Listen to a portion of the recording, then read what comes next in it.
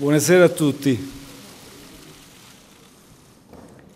Il Presidente della Repubblica mi ha conferito l'incarico di formare il governo, incarico che ha accettato con riserva. Se riuscirò a portare a compimento l'incarico, esporrò alle Camere un programma basato sulle intese intercorse tra le forze politiche di maggioranza.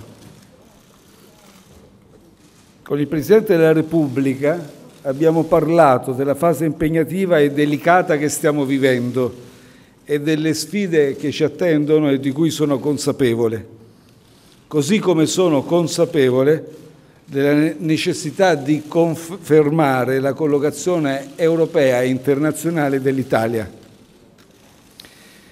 Il Governo dovrà cimentarsi da subito con i negoziati in corso sui temi del bilancio europeo, della riforma del diritto d'asilo e del completamento dell'unione bancaria.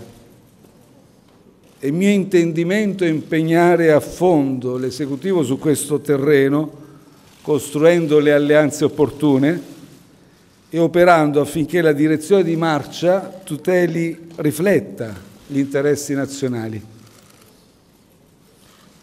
Fuori da qui c'è un Paese che giustamente attende la nascita di un esecutivo e attende delle risposte.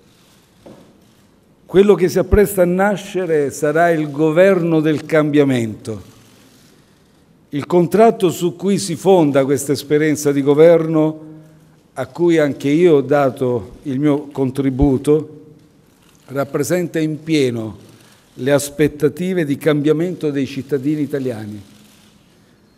Lo porrò a fondamento dell'azione di governo, nel pieno rispetto delle prerogative che la Costituzione attribuisce al Presidente del Consiglio dei Ministri e nel rispetto delle altre previsioni e regole costituzionali.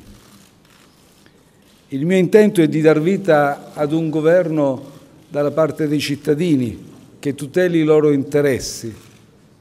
Sono professore e avvocato. Nel corso della mia vita ho perorato le cause di tante persone.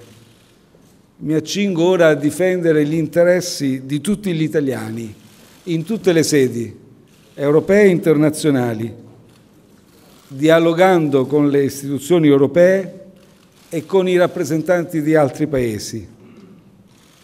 Mi propongo di essere l'avvocato difensore del popolo italiano. Sono, sono disponibile a farlo senza risparmiarmi, con il massimo impegno e la massima responsabilità. Nei prossimi giorni tornerò dal Presidente della Repubblica per sciogliere la riserva e in caso di esito positivo per sottoporgli le proposte relative alla nomina dei ministri. Non vedo l'ora di iniziare a lavorare sul serio. Grazie a tutti.